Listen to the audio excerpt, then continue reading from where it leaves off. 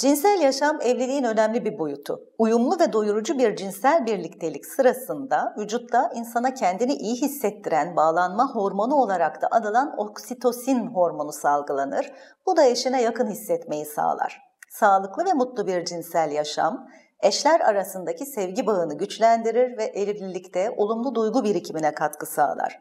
Duygular sadece sözle değil bedenle de ifade edildiği için cinsellik aynı zamanda güçlü aktarımlar sağlayan bir sevgi ifade biçimidir.